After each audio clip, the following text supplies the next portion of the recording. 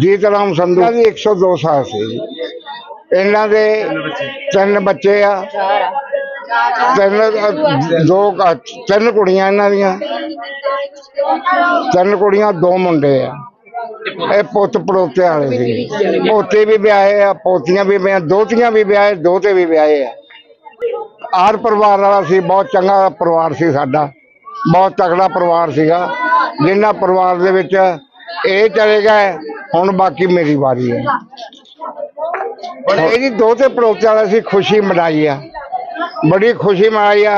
ਇਹ ਪ੍ਰਮਾਤਮਾ ਤੇ ਦੁਆ ਮੰਗਦੇ ਆ ਵੀ ਸੱਚਾ ਪਾਤਸ਼ਾਹ ਇਹਨਾਂ ਦੀ ਉਮਰਾਂ ਵਾਲਾ ਇਹ ਸਾਰੇ ਹੋ ਕੇ ਜਾਣੇ ਇਹ ਜੀ।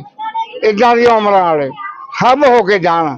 ਕਿਸੇ ਨੂੰ ਐਸੀ ਟੋਟ ਨਾ ਆਵੇ ਜੋ ਕੱਚਾ ਫਲਟਾ ਜਾਵੇ ਉਹ ਠੀਕ ਨਹੀਂਗਾ ਆਪਣੇ ਬੱਚਿਆਂ 'ਚ ਰਹਿਣ ਪੁੱਤ ਪੜਪੋਤਿਆਂ 'ਚ ਰਹਿਣ।